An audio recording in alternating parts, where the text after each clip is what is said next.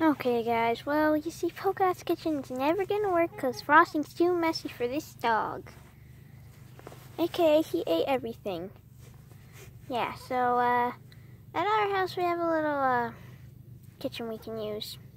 Failed again, Polkadot's Kitchen. Well, oh well, we tried. Get out of here. What he was trying to say is, Polkadot's Kitchen will never happen. Horton, you get out of here too. What he was trying to say is, Polkadot's Kitchen's never gonna happen. Push me like that. You get out of here. What he was trying to say is, Polkadot's Kitchen's just gonna be used with fake food. No, it's gonna be real food. This, this Don't want this retard.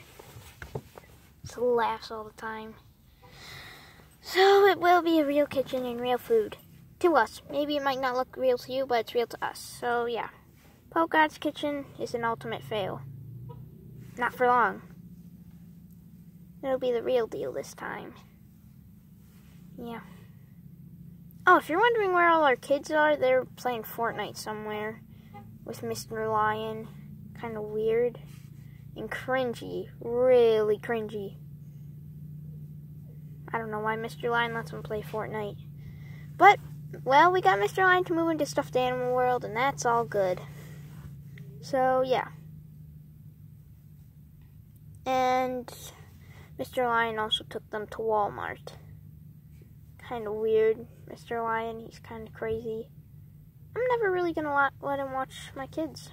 So yeah, that's the news about Polkadot's Kitchen. Uh, I think that's it. Don't break the commercial!